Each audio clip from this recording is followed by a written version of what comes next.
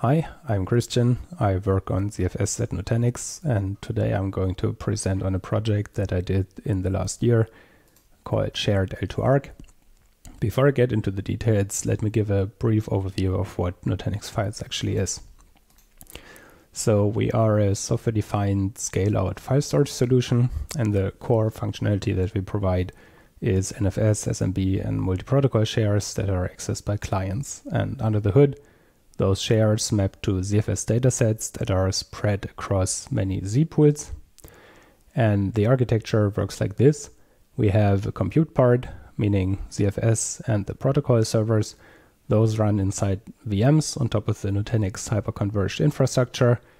And the there's a storage part, meaning the VDEVs of each Z pool those are vDisks, which is, which is an abstraction that is also provided by the Nutanix hyperconverged infrastructure stack. And we access those vDisks from the VM via iSCSI.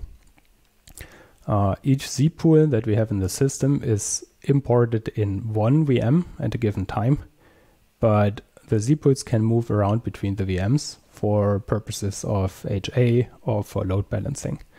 And moving around those Z pools is cheap because we just need to coordinate which VM owns a given Z pool at a given time. We don't need to move the data because the data resides somewhere in the hyperconverged infrastructure. We just consume it via iSCSI.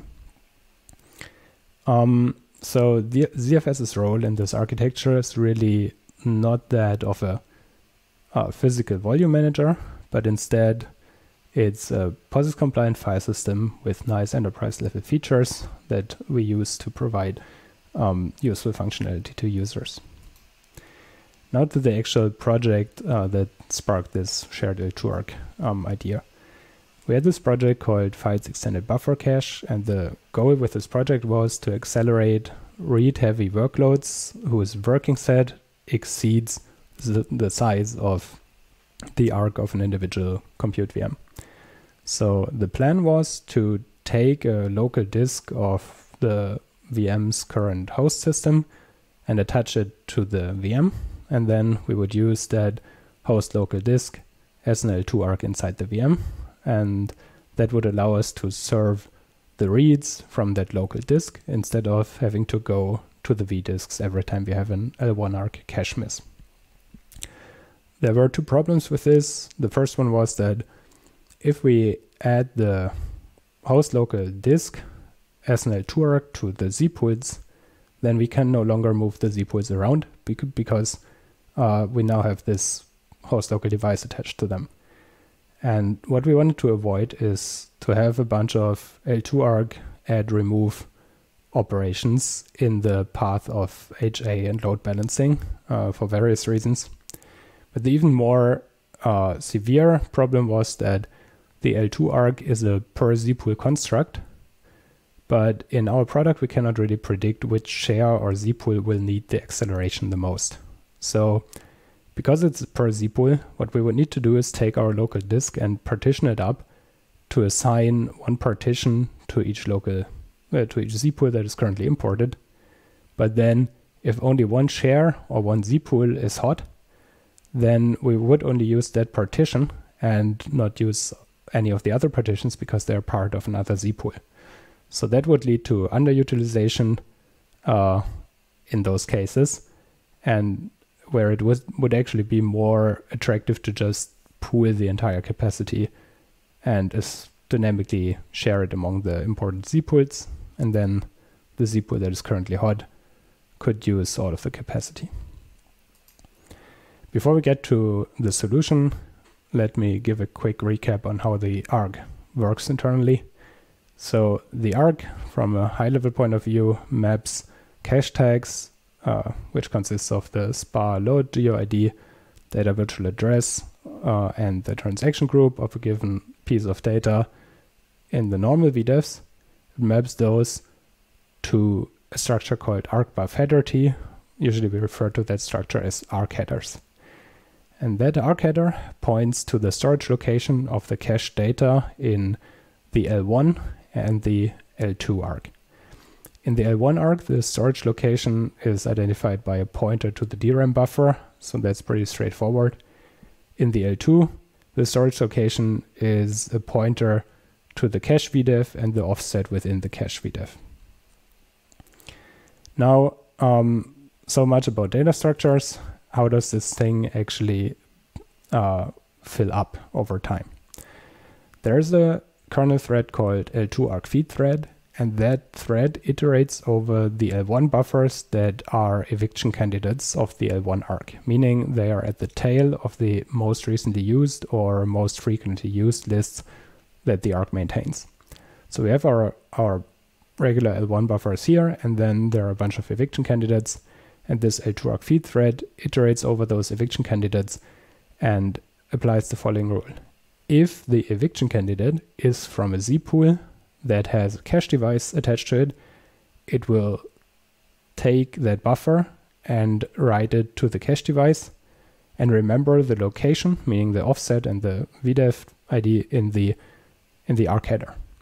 And now when it comes to eviction of the L1 header, then the we will keep the arc header structure in the DRAM and um, we will remember the offset in the L2 arc. So that when we later read that location, we will get an L1 miss because there is no longer an L1 buffer, but there is still the L2 header. We can get the data from the cache device and serve it to the user, and um, that's that's how the L2 arc works works from a high level. Now let's see how this system behaves if we have multiple Z pools.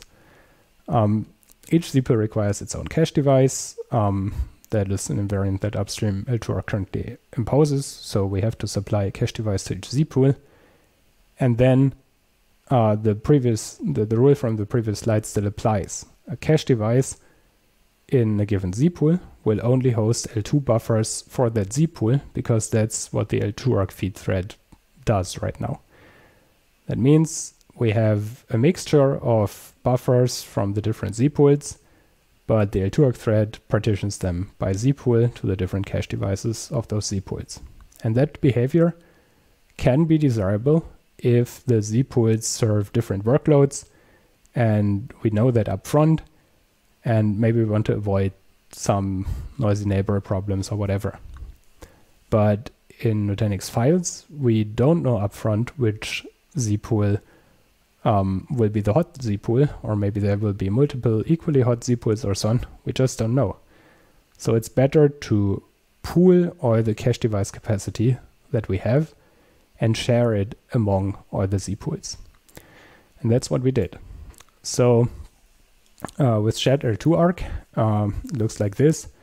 We have the vdisk based Z pools, they just have normal, uh, normal type VDEVs. And then we have a special Z pool called Nutanix FSVM local L2 arc. That name is subject to review, obviously.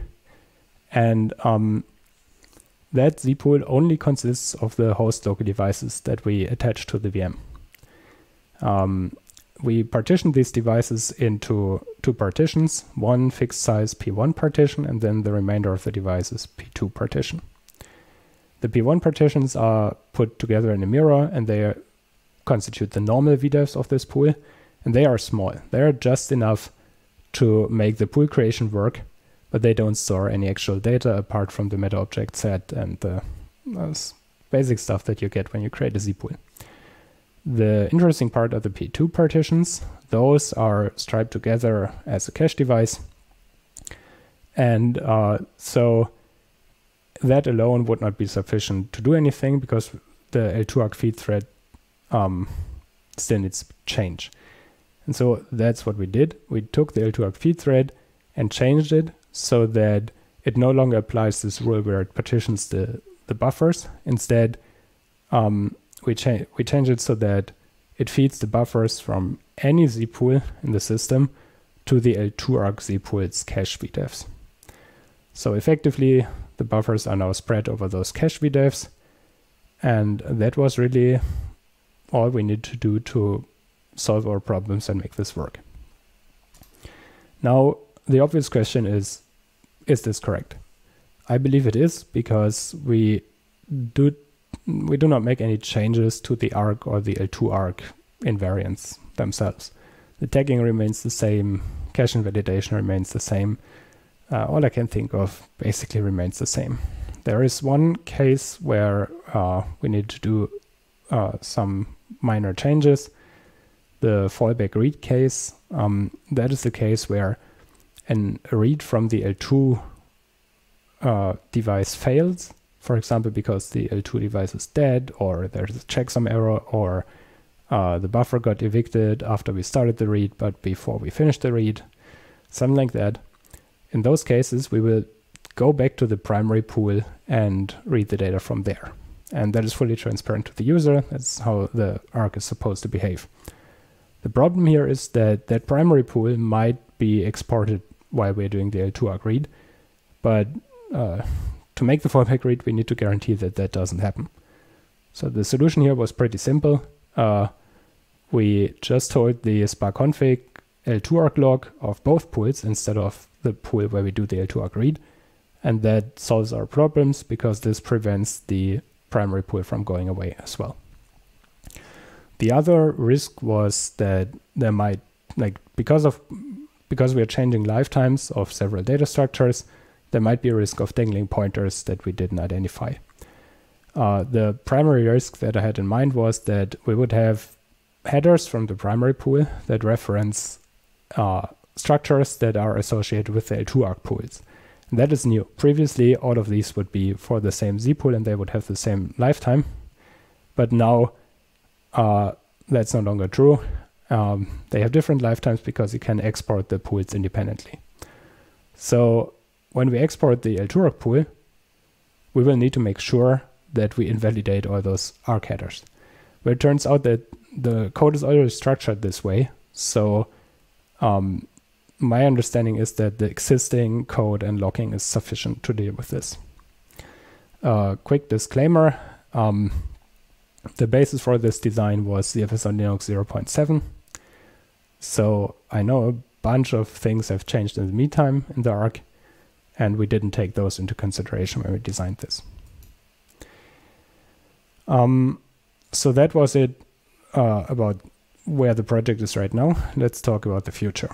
Uh, right now, the project is a proof of concept. It hasn't been productized yet. And um, what I did was publish the rebased code um, to GitHub. So it's available as a draft PR. And every one of you can look at it and check it out. There are a bunch of to-dos. Uh, first of all, I did the rebase, but I didn't take the new features into consideration. So for a general design, we'll need to think about how we handle these. And then obviously we cannot use this hard-coded magic name. We need some more dynamic and generic representation of uh, whether the L2ARC devices should be shared or not. Uh, a property seems like the right choice for this. Maybe something like this, share L2ARC VDEVs on or off would control uh, sharing of the L2ARC VDEVs for the L2ARC Z pool. And if you want, um, we also want to deal, like we want to support both the non-shared and the shared L2ARC case.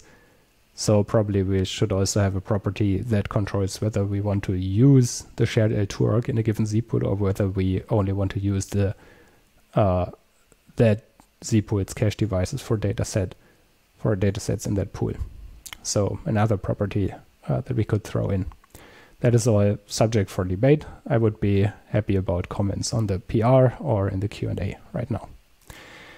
And that was my talk. If you're interested in the code, have a look at the PR, or we can uh, look at it together in the breakout session or during the hackathon. And if you want a demo, maybe we can also do that during the uh, in the breakout room after the talk. If you have questions or comments on the design, now is the time. And before I hand over to Matt, I would like to say thank you uh, to my team at Nutanix and uh, the ZFS community at large, in particular Paul Dagnelie and George Wilson. Uh, both of you answered lots of questions that I had um, while I while I implemented this. Thank you. So Q&A, cool. All right, questions for Christian? Alan? Is there a reason you decide? Can you explain the reason you decided to use a separate pool rather than making an L2ARC be in two pools at once, kind of like a spare can? Yeah, um, so that was actually one of the alternative designs. Um, it was just too fiddly uh, in the like VDEV management code. I wasn't particularly familiar with that. Actually, under the hood, the VDEV auxiliary T, which is like the, the I don't know, you could call it abstract base class or whatever. Basically, a piece of code that is shared between spare VDEVs and L2ARC VDEVs. Spare VDEVs support being present in multiple pools at the same time, but I found the whole like that, that the, at the point in time where you put the spare into actual use, I found all of that pretty messy and didn't want to deal with that. Um, so yeah, I chose the separate pool approach. Also, you have to like um, think about what the different subcommands will do. So, for example, zpool status will it or zpool IO stat will it show the IOs for the device for each pool, or uh, will it like distribute the statistics based on which pool access did, did how many accesses to this device? Uh, it seems simpler to just have one one zpool. Cool. Um, so if you have a couple pools imported on the system, you know, pool A and pool B sharing this L2ARC, and then you go and say export pool A, um, does it go and immediately like reclaim all the space that pool A was using in the L2ARC, or does it like persist in case you are going to import pool A again later? Uh, yes, as I said, we are on uh, 0.7, so we don't have persistent L2ARC, and uh, I think that would so, so, so we don't we don't have that particular use case. In general, when we export the pool, it's going to be gone for several minutes, and by then the L2ARC contents are probably irrelevant. So um, yeah, we didn't need to think about that. We thought about okay, upstream did persistent L2ARC. Are we interested in persistent L2ARC for the product? And yeah, we concluded that that we aren't. So that's why we didn't look at this. Other questions? All right, looks like no. Cool. Thanks a lot, Christian. Thank you.